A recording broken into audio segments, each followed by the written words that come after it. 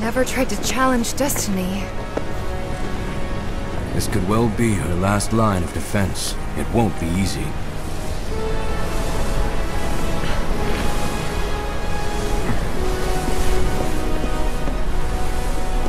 Let's go.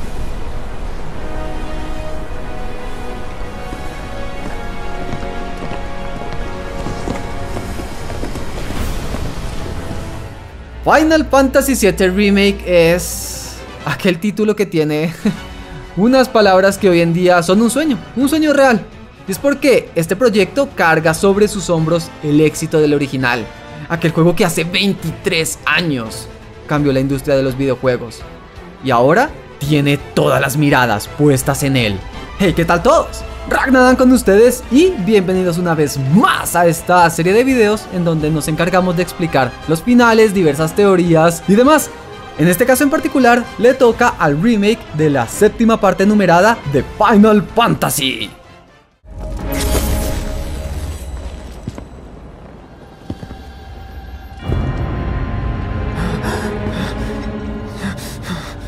You are too weak to save anyone.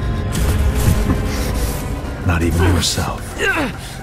Así que hay mucho de lo que hay que hablar, pero a pesar de que está en el título de este contenido, quiero reiterarlo en este momento.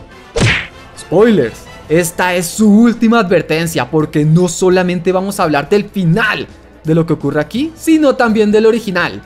Así que, ya saben, fueron advertidos. ¿Está bien todo? Vamos a comenzar de una buena vez. You turned the key. The engine roars with excitement. It hungers to be set free! ¿Saben? Creo que la mejor forma de comenzar esto es desde el principio. Sí, suena obvio, pero no estoy hablando del principio del juego, sino del proyecto. ¿Por qué? Bueno, solo traten de seguirme la corriente por ahora, porque créanme, esto va a ser muy relevante más adelante. Un remake de esta séptima entrega numerada de Final Fantasy ha estado en la mente de las personas más o menos desde el 2005, cuando salió su película Advent Children. Una secuela directa y que toma lugar un poco antes del final del juego. Hagan de cuenta como Dragon Ball Super antes del final de Z. Y digo esto porque siento que la mayoría de personas entenderán esta referencia. Y es por esto que hubo algunos spin-off como Dirge of Cerberus e incluso el mismísimo Crisis Core Final Fantasy VII, el cual es una precuela. Aún así, por allá en 2010 recibimos una pequeña demostración de Square Enix mostrando el gran poder de PlayStation 3 en ese momento, con un pequeño teaser de cómo se vería un remake a esas alturas de Final Fantasy VII. Ragnaran, ¿qué tiene esto que ver con el final del 7 remake? Paciencia muchachos, paciencia, créanme, esto tiene todo que ver. Para nadie es un secreto que hay una cantidad de cosas de Final Fantasy VII, desde animes, secuelas, precuelas, películas, pero no un remake. ¿Qué fue lo que cambió las cosas entonces? Bueno, hubo una reestructuración en Square Enix y a la compañía no le estaba yendo tan bien que digamos. Así que básicamente pulsaron el botón de emergencia, el cual era, bien, vamos a recurrir entonces a este proyecto. Sin embargo, nos damos cuenta de lo especial que es. Así que tenemos que reunir un muy buen equipo si es que queremos hacer esta tarea de la mejor forma. Ese trailer del 2015 donde lo vimos por primera vez, aquellas palabras van dirigidas más que todo al público. Es una reunión muy importante que pueda que dé miedo, pero de todas formas la estamos esperando, ¿cierto? Sobra mencionar la cantidad de problemas que hubo. Primero estaban trabajando en el Luminous Engine tanto para Final Fantasy XV como para 7 Remake, como para Kingdom Hearts 3, pero después cambiaron a los dos últimos para hacer el Unreal 4. El mismo día del tráiler al parecer escogieron al director. En fin, ¿qué no pasó? Fue por esto que se les ocurrió la grandísima y maravillosa idea, de la cual también hablamos en un video anterior, de vamos a dividir a la mitad este equipo de trabajo. La mitad van a ser personas veteranas, personas que ya sepan cómo programar juegos y que hayan estado en la compañía, y la otra mitad va a ser talento nuevo. Aquellas personas jóvenes que crecieron jugando Final Fantasy VII. ¿Me siguen? Ok, perfecto. Recuerden esto porque ahora sí vamos a comenzar a hablar del juego. No, esto no es un remake, esto es una secuela, esto es una reinvención, o si combinamos las dos palabras como muchas personas cariñosamente le están llamando, esto es una recuela. Entonces, hay tres elementos claves que lo diferencian del original. Y para hacer esto un poco más divertido, vamos a hacerlo como en rango de poderes. Es decir, en tercer lugar estarían los murmullos del destino. Aquella entidad que sigue al grupo a todas partes y que, previo al lanzamiento, los desarrolladores dijeron, estos están aquí para sorprender incluso a los que ya creen conocer la historia. La primera vez que nos encontramos con ellos es al inicio del juego cuando Cloud por primera vez ve a Aerith. You shouldn't be out here trying to self.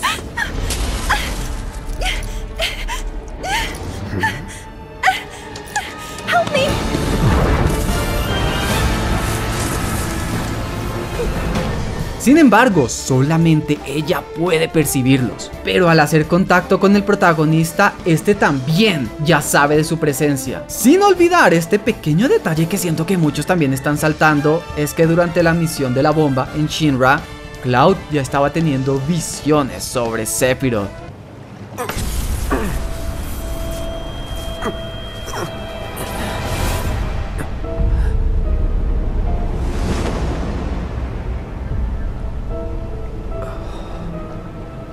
Interesante, ¿no? Aunque más o menos se había tenido una escena un poco similar en el original, pero ahora sí nos presentaban un nuevo elemento tangible. Uno al cual con mucho afecto yo lo quiero llamar el guion del juego original. Momento, estás revelando la información importantísima al personaje original que se supone todavía no debería saber.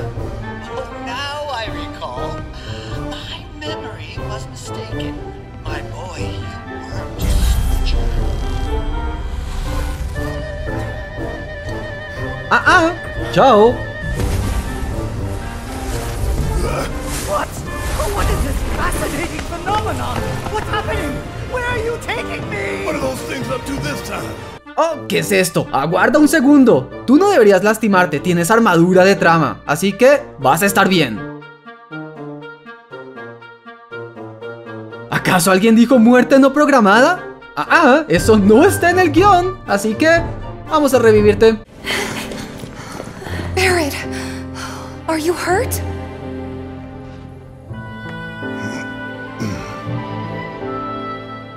Don't think so. This death was not the one ordained for you by fate. Ok, ya en serio. El punto va a que ellos no están ahí ni para ayudar, pero tampoco para descalificar lo que estén haciendo las personas, siempre y cuando todo esté en el gran plan. Y esto es lo que nos trae al concepto más grande que existe en todo Final Fantasy, el destino y cómo desafiarlo. En el original del 97 era un poquito más sutil, en donde constantemente hablaban del futuro y de lo que le podía pasar al planeta de continuar así. Acá es un poco más en la cara, muy similar a otros títulos un poco más recientes como Final Fantasy XIII. Claro está que esto tiene una explicación obvia, son los mismos directores que han estado dirigiendo todos estos títulos los últimos 20 años casi que con el mismo tema, solo que abordado de distintas maneras, y en algunas ocasiones más obvias que otras. Como resultado, algunas escenas se parecen mucho y el arquetipo es básicamente el mismo. We can do this. We can.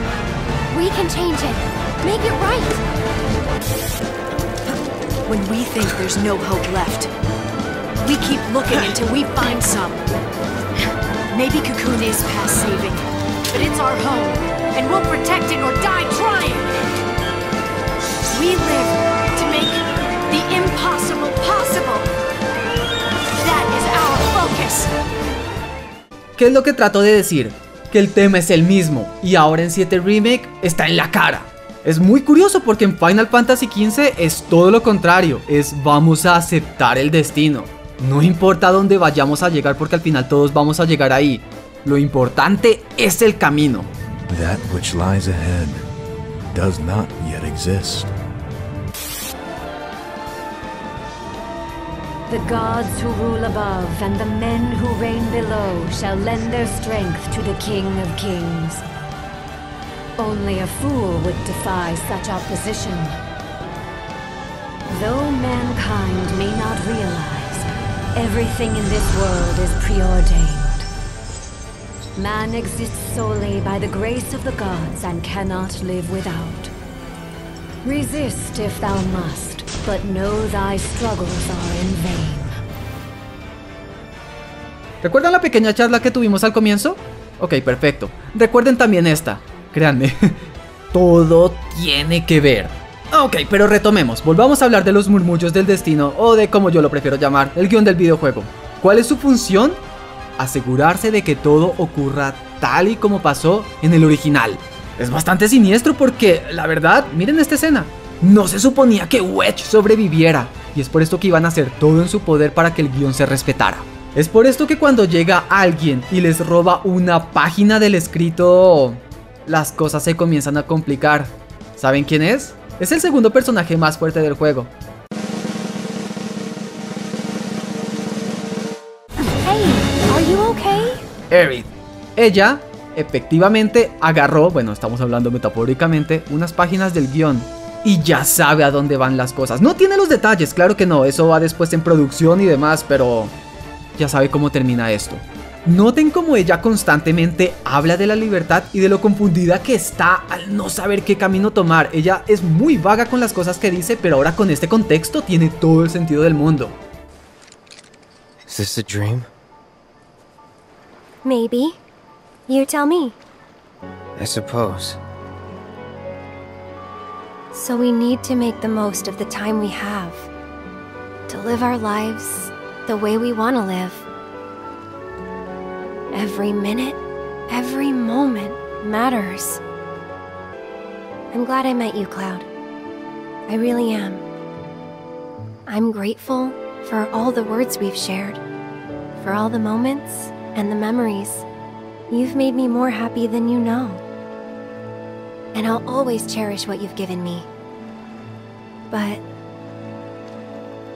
But whatever happens, you can't fall in love with me. Aerith, what are you not telling us? I'm lost in a maze, and every step is taking me further from the path. Every time the whispers touch me, I lose something, a part of myself.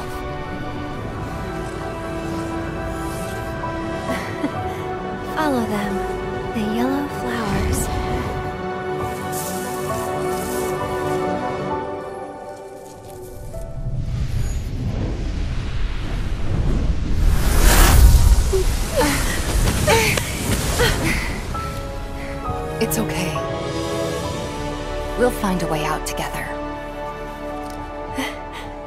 Okay.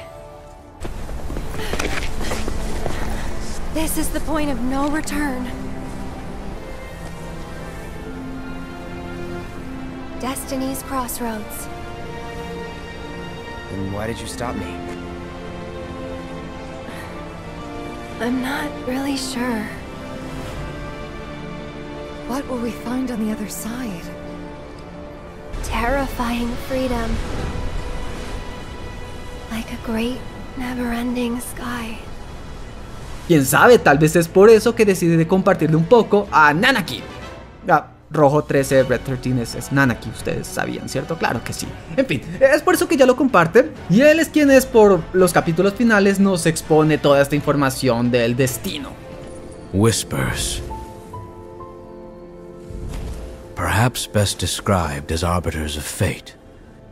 They are drawn to those who attempt to alter destiny's course and ensure they do not. Like capital D? Destiny? The flow of the great river that is the planet, from inception to oblivion. And you're saying that that flow is somehow fixed? Yes. No es claro si ella le compartió la página completa que se robó del guión, una vez más metafóricamente hablando, o solamente le susurró al oído, oye, así es como terminan las cosas. Entonces, pequeña recapitulación. Los murmullos son el guion del videojuego original que escribió Nojima en el 97. Aerith es la segunda más fuerte porque se robó una página del guion, entonces no se puede acabar si no se tiene esa página. Pero, ¿saben quién es el más poderoso? Es aquel que ya se había leído todo ese script. Es aquel que no necesita esa página porque está haciendo su propio fanfic sobre el material original que ahora le pertenece.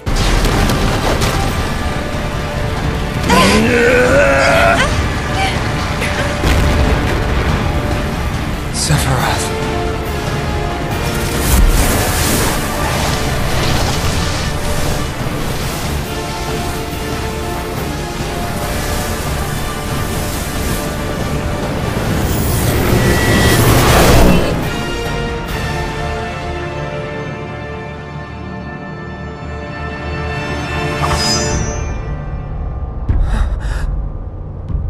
Holy shit, Advent Children?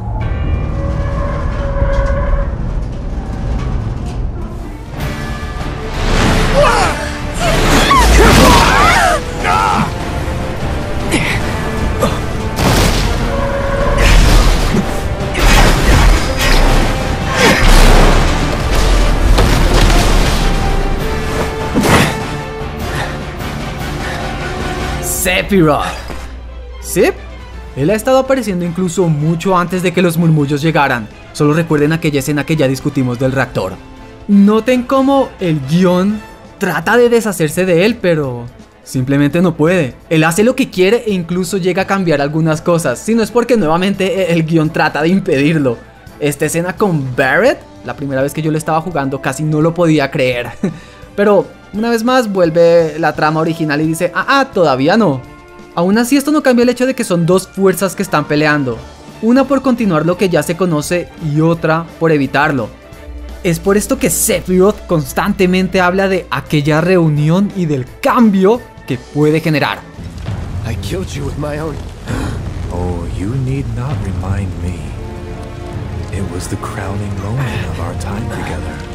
But that was then, and this is now. I have a favor to ask. Our beloved planet is dying. Slowly, silently, painfully. Can you bear to see the planet suffer? Cloud. That which binds us together would be no more, and I would be loath to live in such a world. Which is why I must ask you this one favor.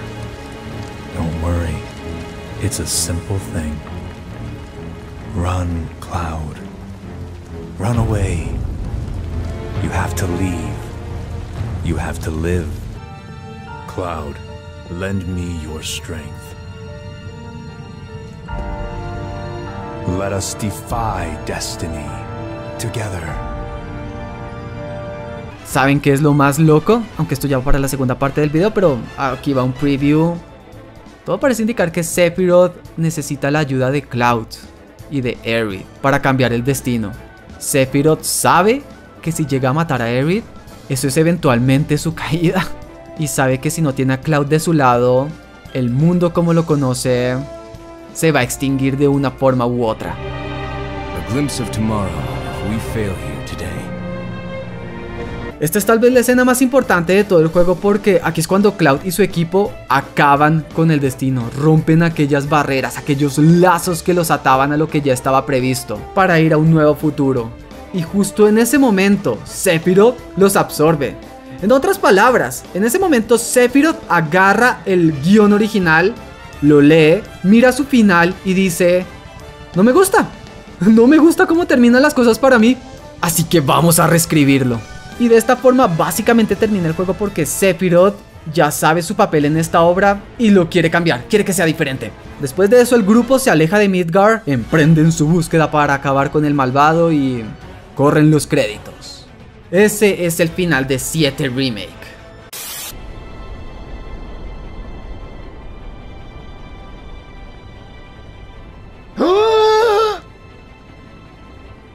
Oh Dios mío.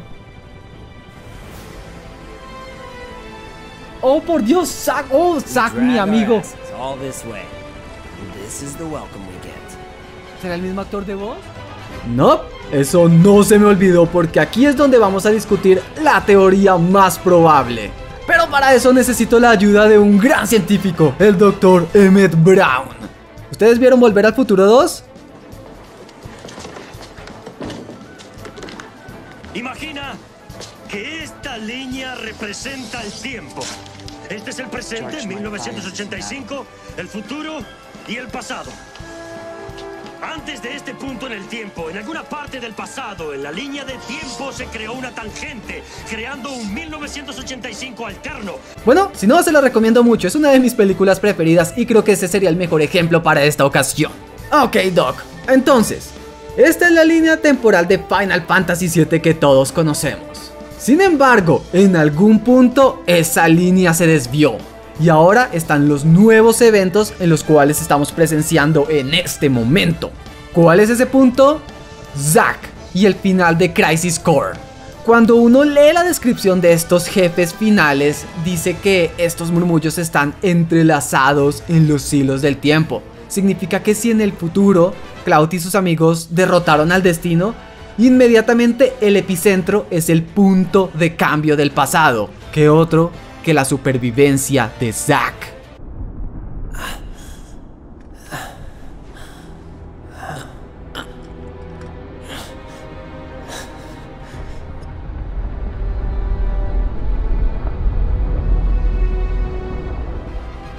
Eso significa que hay dos realidades, hay dos clouds, hay dos tipas, pero en una de ellas hay un Zack vivo.